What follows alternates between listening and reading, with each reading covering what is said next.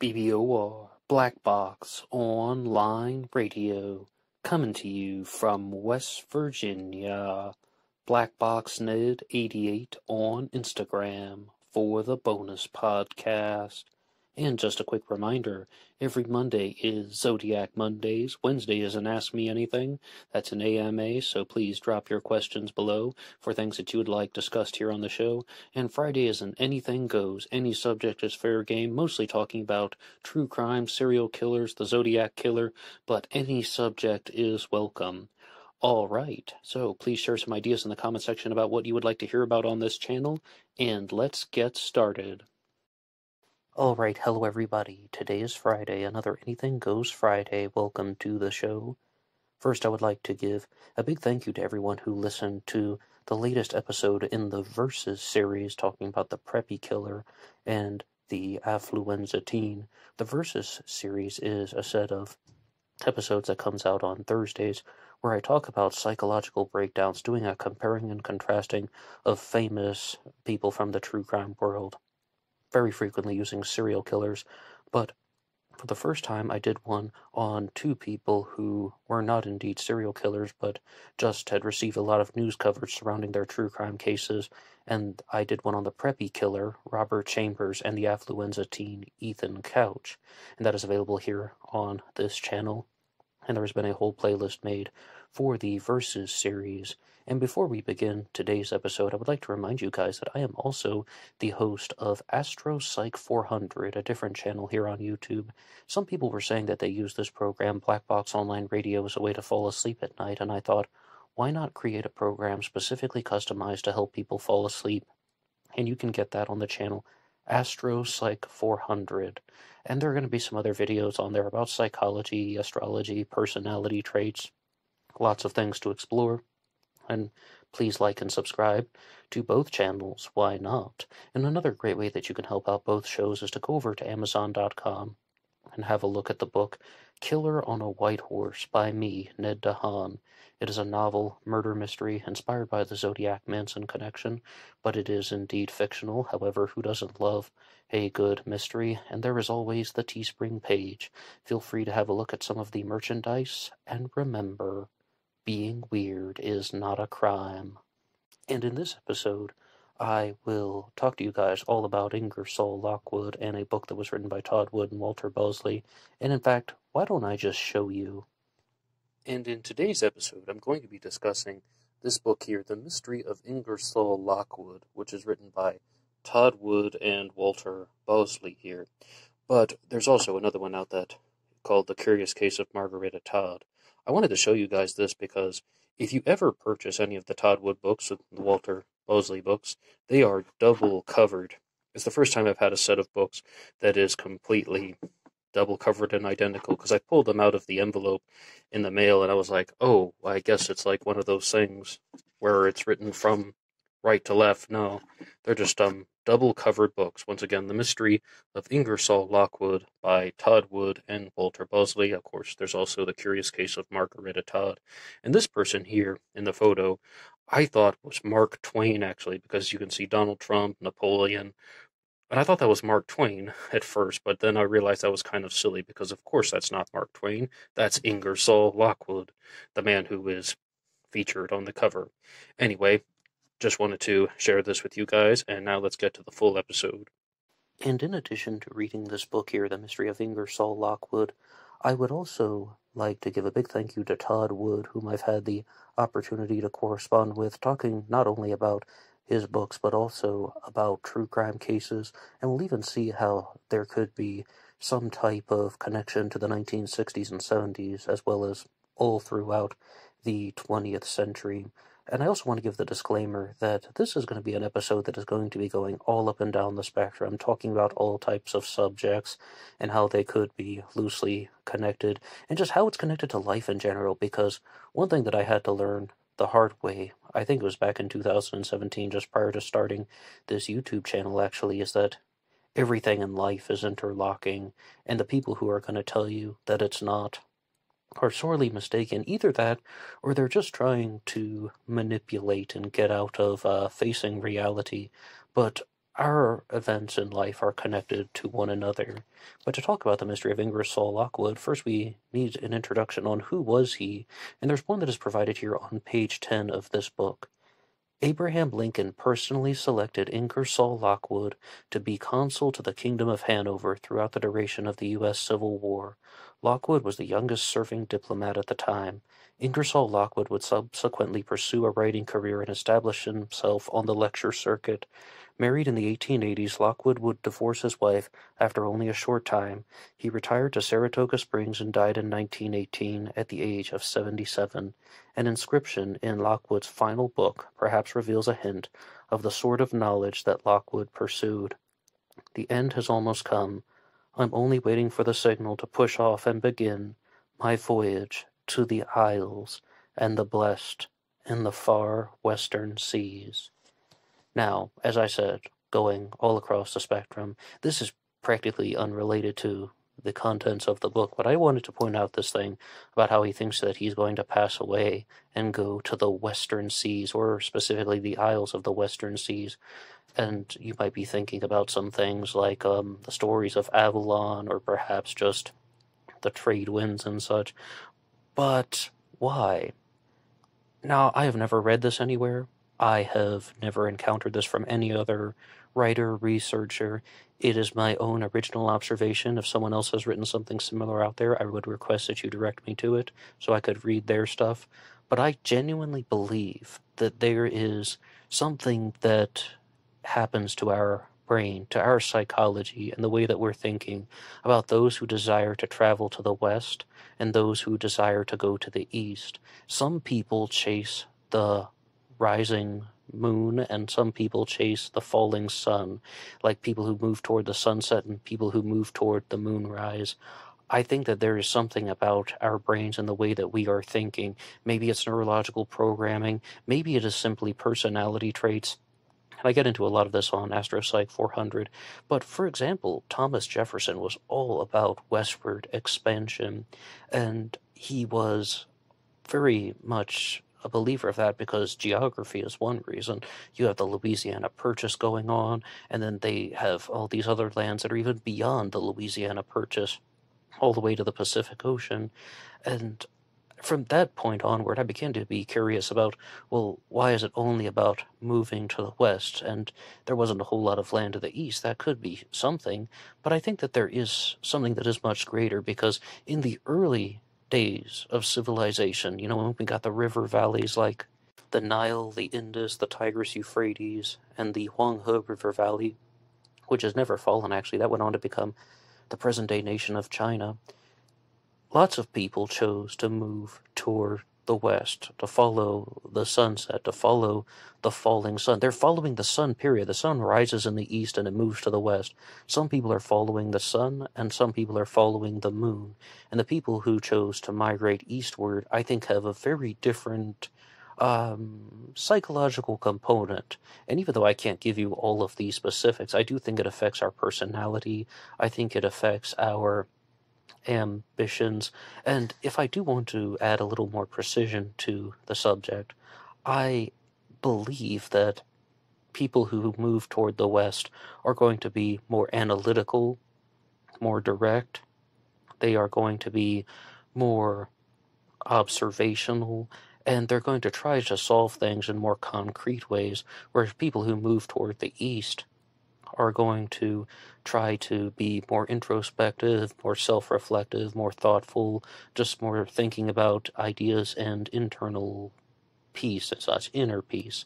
And I think this is heavily exemplified by something that I read from Dr. Amit Goswami when he said that there's the story of the man from the east and the man from the west, and they want to learn the truth. And the man from the east asks the man from the west, How do you learn the truth? And the man from the west said, I open my eyes. And the man from the west then asked the man from the east, How do you learn the truth? And the man from the east said, I close my eyes.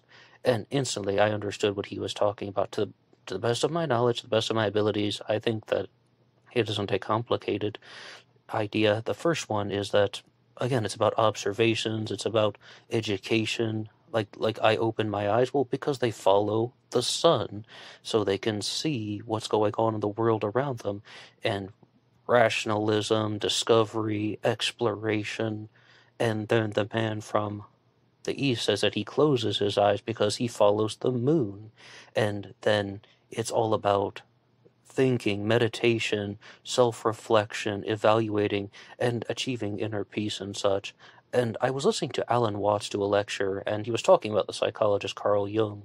And what he said in that one was that there is a very big division in the East versus West uh, terms of um, philosophy and meditation and such.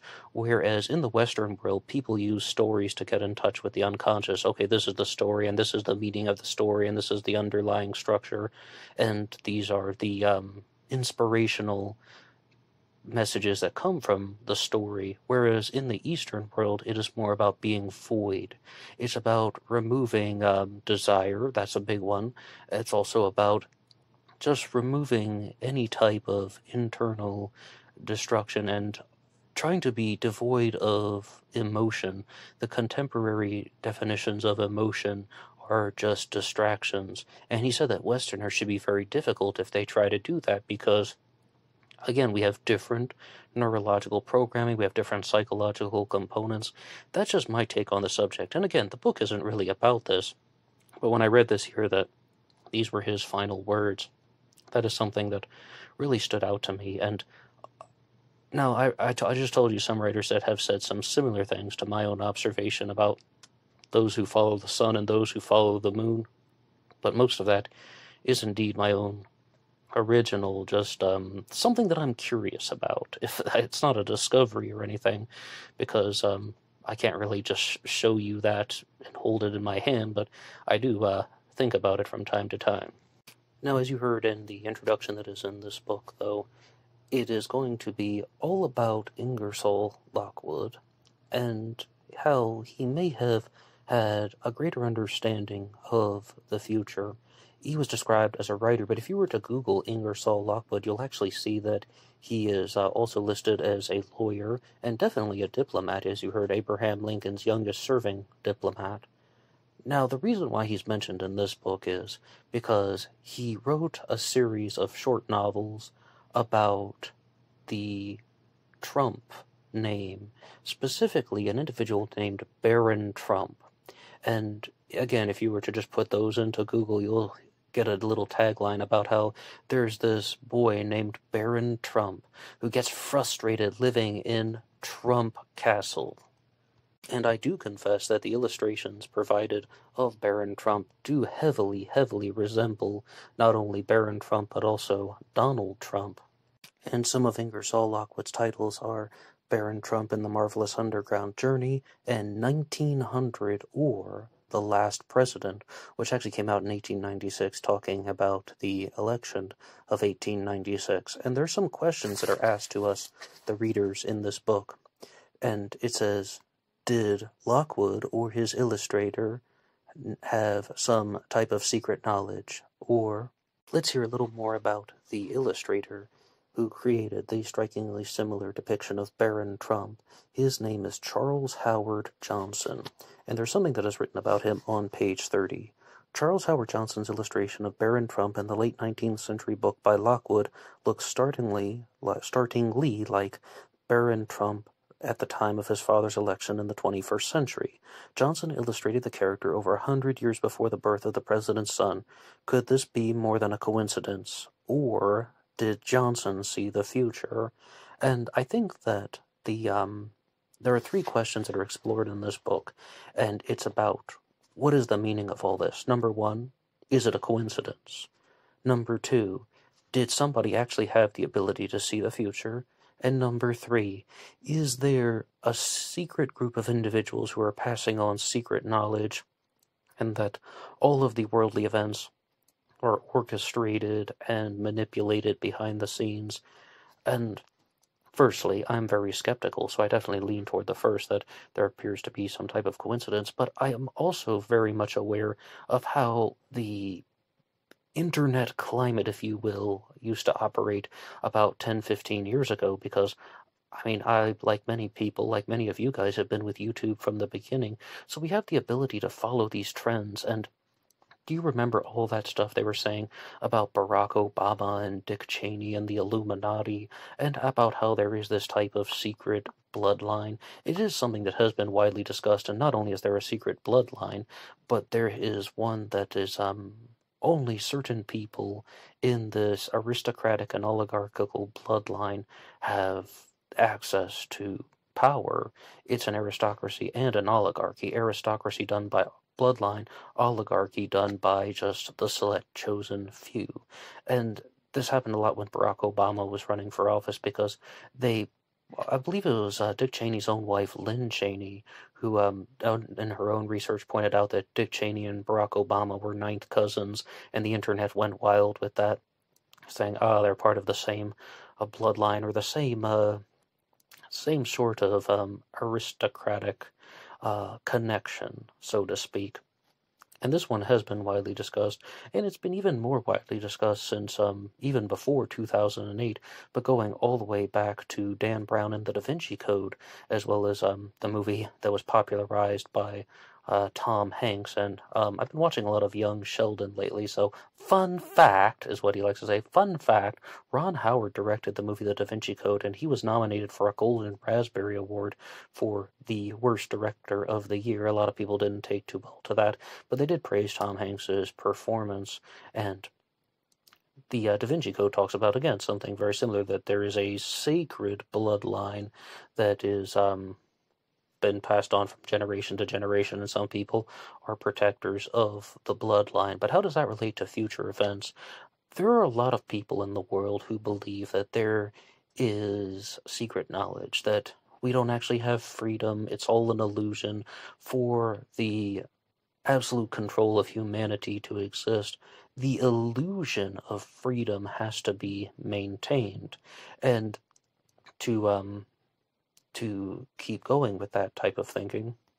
All of our decisions in elections or the political world or who gets to be president, all of this is predetermined and there's just the illusion of freedom. Perhaps you've um, you're familiar with something like professional wrestling where it's all scripted, it's all determined.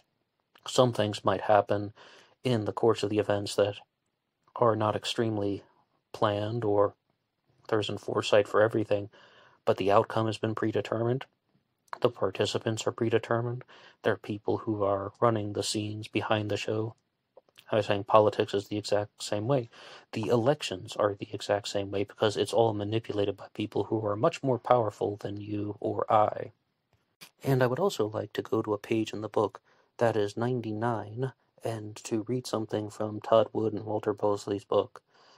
In the 1890s, Ingersoll Lockwood and his associates the saw the coming century was a bright future of advancing technology which would retain the elegance of its visionaries' tastes. What we got instead was a century of socio-political nightmares, president warfare orchestrated by military-industrial agents of passive totalitarianism, and an increasingly ugly aesthetic. For every good accomplishment like medical advancement, civil rights success, and space travel, there has also been big pharma assassinations and terrorism. Why did this happen? What will happen to this new century? With their tactics and manipulations, they stole the promise of a future past. With these, they intend to steal the promise of the future again. We suspect the answers may be found in pursuing other questions that remain. But let's um let's try to answer this question. Why did this happen in the 20th century? And this was heavily, heavily seen years before, and there are all types of people like theorists. I mean, even Otto von Bismarck talked about this, but there was also a Czech theorist named Ivan Bloch who thought about. No, sorry, not. I was thinking of Tomáš Masaryk. Tomáš Masaryk was the uh, Czech theorist. He did something else. Ivan Bloch was um, a different guy, and he was talking all about the industrialization of nations no, he wasn't from Czechoslovakia, excuse me. Ivan Bloch thought that the overwhelming power of military technology would surpass humanity. maybe when you were in elementary school, you heard your teacher say something like, We have enough nuclear warheads to blow up the world three times. Well, that's what he was talking about, and even if that's not an exact number, and that's just somebody saying a remark off the cuff, that's what he was talking about. That military technology would become so powerful that humanity would not be able to survive. Maybe you've seen a movie called The Matrix or something and seen what technology can do. Maybe you've heard of Terminator and the rise of the machines. That's also um, some very similar things that people are predicting will happen. But what about the 20th century, right? Well, what happened? World War One, and there were all of these new advancements in technology. The air war and chemical warfare entered into a new, more powerful dimension. And the reason why World War One truly changed modern culture is because there was less of a desire to be connected to the elites, and people really recognized that the global elites can kill us for their own selfishness and ignorance. And why did World War One happen? Maybe is it because some guy named Gavrilo Princip shot Franz Ferdinand the Archduke and that started World War One? No, absolutely not wars are not started simply because of something like that.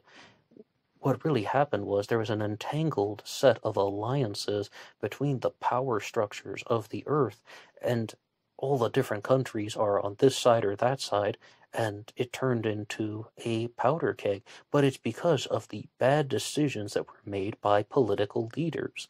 And people were very much aware of that. Steve Martin wrote a stage play called Picasso at the Lapin Agile, which talks about that very concept in the 20th century. And in his own writing, his interpretation of this, he says that the 20th century was the first time when the accomplishments of artists and thinkers outweighed those of politicians and the military.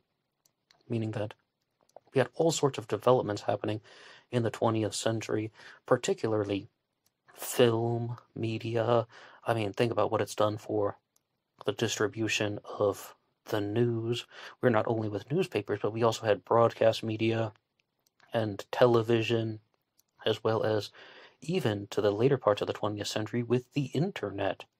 So Absolutely, absolutely. The accomplishments of artists and thinkers have become more powerful, but so much of this is because there's this disdain and there's this rejection, and there is this very sour feeling toward po- politicians and thinkers and people who start wars because of entangled alliances, people who start wars not because they're trying to defend any noble cause, it's simply because people are out of control. Our leaders were either out of control or they made some really bad decisions. And I kid thee not. I mean, people were predicting this, the um, the Great War well in advance. And what's that? Um, Igor Stravinsky in The Rites of Spring even shows um, this in musical form, like in the in, in the creation of a ballet, about how people are very much aware about how divided factions and then this side versus that side can lead to destruction. But those are some of my own original responses to the questions in the book. I would also like to go to something that is written here on page 69 that says, We come to the part of this examination in which Ingersoll Lockwood is perhaps most relevant to our times. His work of political fiction titled 1900 or the Last President, published in 1896 by the American News Company of New York, 1900 TLP, is a rather dull read. Only in its resonant points with our political situation of late in the United States does it stimulate. Essentially, it is the story of civil unrest being spun up by one presidential election featured in the story. It is in certain details where Lockwood distinguishes himself as a prescient vision even more starkly, suggesting that our present times may have a long lasting impact on the future of the nation. The best way to approach this material is by chapter and identify the pertinent details of them in context to the book. The book opens with a quote The Chicago platform assumes, in fact, the form of a revolutionary propaganda machine. It embodies a menace of national disintegration and destruction. Right from the first page do we have resonance with our times for this story and puts Chicago factions against a New York establishment. More specifically, consider first what the quote says about Chicago. It represents a menace of national disintegration and destruction. The Chicago platform is all about revolutionary propaganda. who is associated with Chicago. And then, I kid thee not, Democrat, specifically former President Barack Obama, who is an organizer in Chicago. Now, on the one hand, I completely understand what they're trying to do here, and they're drawing parallels with the past and the future. I am all for how history repeats itself and looking at the ways in which the same political cycle has been used over and over again, time and time again. Now, is there actually some type of prescient knowledge, as um, they uh, talk about in this book?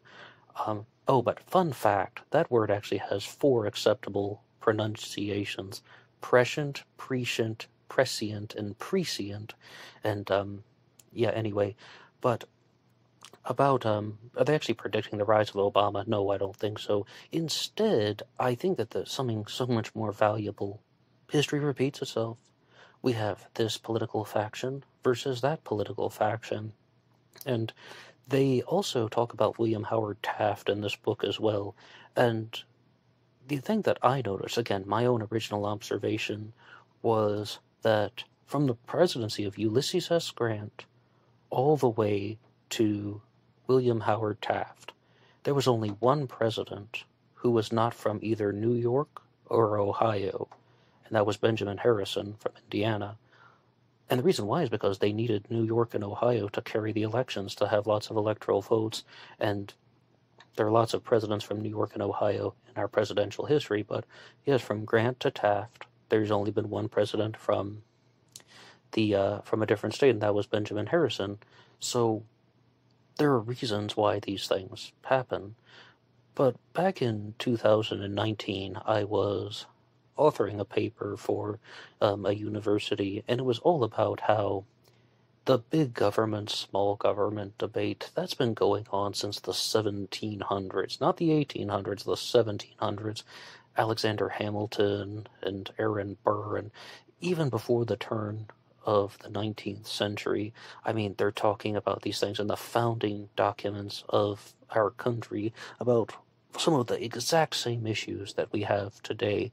Yes, we've had differences in military technology, and we've had differences in some of the political and cultural movements of the time, but in the same bare bones elements, you can identify very, very similar patterns of, of operation. But what I would be much more curious is investigating the concept of secret knowledge. Because one thing that I've always told you guys on this channel is oligarchy is real. I mean, of course, aristocracy is real. Nobody ever doubted that. But oligarchy is real because that's more difficult to hide. Oligarchy is not done by bloodline. There are concentrations of wealth and concentrations of power only for the few. And the New World Order is also real. The New World Order is just the mechanism which allows oligarchy to propagate. And when you actually listen to conspiracy theorists who are talking about there's some type of secret knowledge going on, you'd be like, that's just a crazy conspiracy theory. No, it's not. Oh no. For the following reason. Have you heard of corruption? Well, what do you think that is? That's the secret knowledge that they're talking about, and they're they're abusing their power in a way that is corrupt. I mean, that's all of these things. They're just being very flamboyant and boisterous, and they're using a lot of far out language to get your attention. The New World Order, the globalists, the tyrants, and the social engineers. Yeah, there's corruption. Yeah, people are hoarding wealth and they're using their wealth to obtain power, or sometimes people use their power to obtain wealth both of those things happen. All of that stuff is real. Now, is there actually some type of guarding of a secret bloodline for the purposes of oligarchy? And, well, that would mean oligarchy and aristocracy at the same time. I mean, that I'm not sure of, but I'm definitely curious about it. And I've always said if someone has proposed an idea, I will talk about it. I think there's a big difference between the actual ability to see the future and the ability to think that there is a group of people working in the shadows. And the first is to see the future, you would need some type of psychic ability.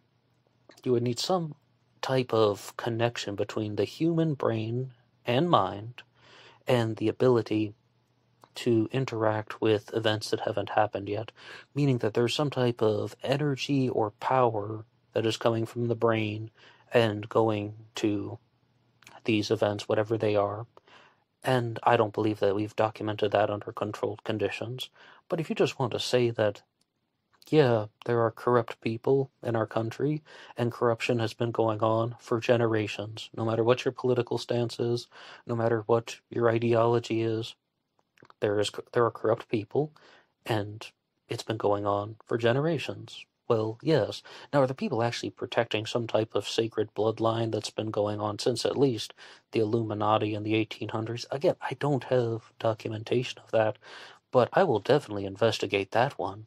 Because unlike psychic powers, I mean, I can actually look for clues in literature and uh, stuff like this here with Ingersoll Lockwood, and I do give great praise to Todd, Bos- Todd Wood and Walter Bosley for um, exploring something, for exploring something and asking questions and just trying to challenge the mainstream and to look for something in a different place, you know, taking the path less traveled by.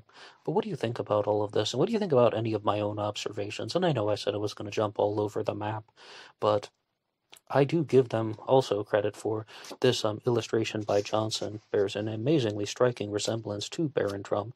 But another important um, distinction is that Barron Trump spells his name B A R R O N that's the son of Donald Trump, and the fictional Baron Trump of the 1893 novel spells his name B A R O N. There's only one R as opposed to two.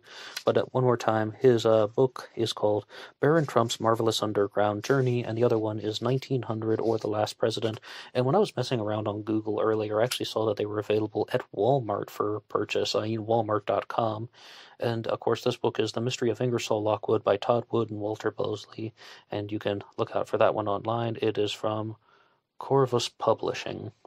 All right, thank you so much for listening to this episode, and I know that it's some different material for this channel, but I wanted to uh, talk about it for a couple different reasons. Firstly, to uh, give thanks to Todd Wood for providing me with a copy of it, but also to just my own observations, as I said, about the East and the West and the Sun and the Moon, as well as the 20th century and the um, rise of writers and thinkers.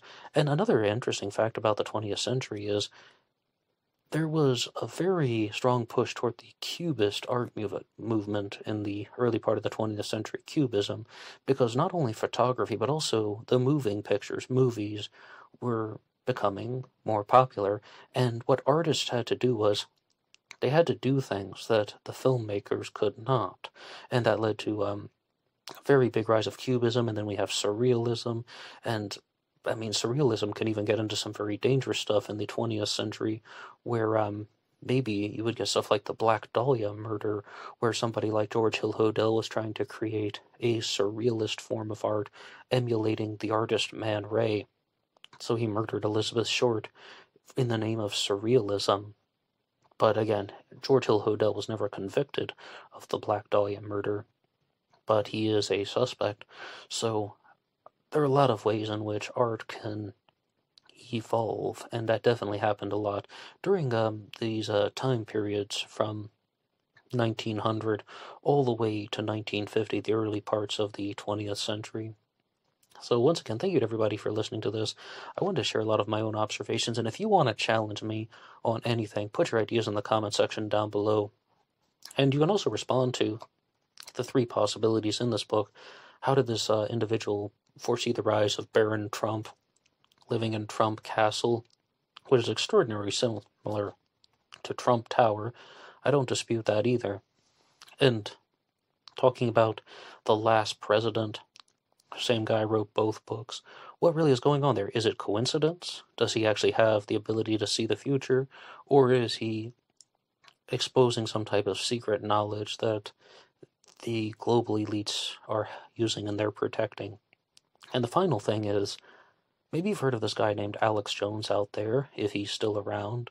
And his worldview was more about how there is this cabal of individuals who are running the show who are running the political theater, who are operating behind the scenes controlling events, and some people call them the globalists.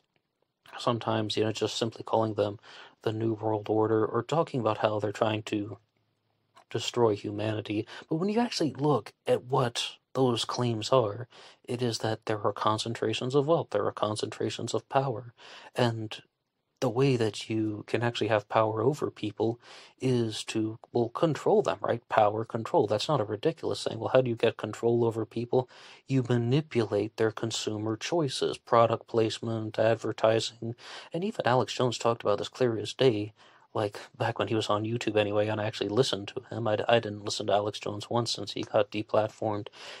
And it's all about the um like he talks so much about Edward Bernays and public relations and how public thought is manipulated through well just that. It's through the media through advertising newspapers and um, they're just putting out ideas to get people to think in a certain way to make certain consumer choices. So these concentrations of wealth and power become fortified and the people who don't have the wealth and power are expendable. But the way you control them isn't to have some type of nuclear holocaust where you're just going to be dropping bombs all over the world and killing a bunch of people. No, it's so much more beneficial to profit from people, enslaving them in a way in which they are simply just buying things and they are spending their money on things that are going to make them sick, like, I mean, fast food, cigarettes, I mean, drugs, even maybe you've heard something about the fentanyl crisis. So then they need to purchase um, very expensive medical care. And if they don't pay for the medical care, then they'll pay for it with the taxes like the other systems do. So then, no matter what, you're the global elites are getting all of their money, and the poor are going to stay poor, the rich are going to stay rich, and certain rich people, again, only a certain group of people, are going to have access to the um, well, the concentration of wealth and the concentration of power, aristocracy plus oligarchy. Oligarchy is very real. I'm a little bit skeptical about this whole sacred bloodline issue that's going on, about how only certain people can be incorporated into this because of their bloodline. But, I mean, I would love to read your responses in the comments section down below. And what do you think about any of this?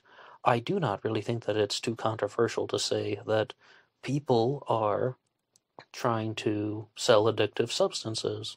I mean, caffeine, like coffee, alcohol, tobacco, and now the um, the fentanyl opioids. Though that there's just an epidemic of that type of behavior, hit my home state of West Virginia very hard. That stuff is real, and there is a secret knowledge of that because some people know exactly what's going on. I mean, they just did this um show uh, Dopesick out on Hulu. I watched the first episode was so uh, depressing. I didn't continue with that, but everyone's been telling me to go back and watch more of it. So, what do you think about any of this? You can put your ideas in the comment section down below. I would love to read your stuff, and I will see you over on Instagram for the bonus podcast. Until next time.